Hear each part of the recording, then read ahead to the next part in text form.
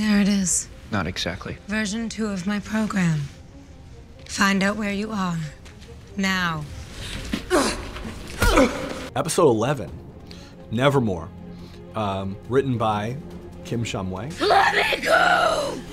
Let me go! Raven is brought back to the cave where her friends are waiting. Now, Raven is possessed by Allie, and it is really a sort of an exorcism kind of episode as her friends try anything to get this thing out of her head to save their friend, to get her back. A really, really powerful performance by Lindsey Morgan. Let me go!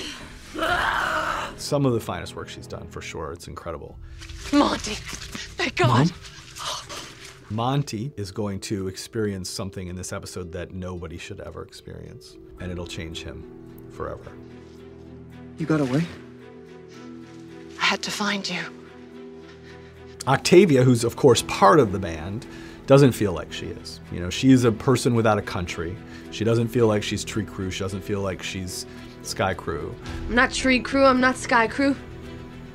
I'm nothing.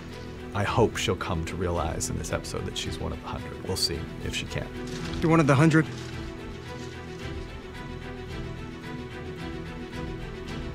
Not anymore.